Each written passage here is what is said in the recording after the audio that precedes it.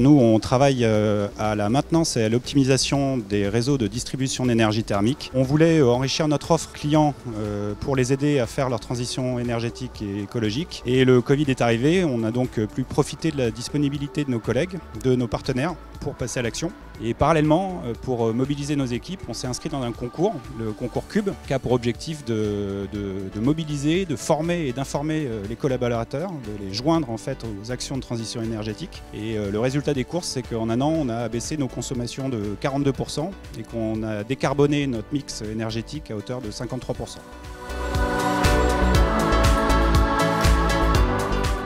Clair que la transition écologique et énergétique, elle ne peut pas se faire seule. Et donc assez naturellement, on a rejoint la communauté du coq vert de BPI France euh, parce que c'est le, le, modèle de la communauté est aussi basé sur euh, l'échange de savoir-faire et l'échange d'expérience. Mon message, c'est de faire euh, confiance aux jeunes et puis de prendre un VTE vert, euh, quelle que soit sa situation, pour se faire assister, euh, pour mettre en place les premières actions simples qui débutent la transition énergétique.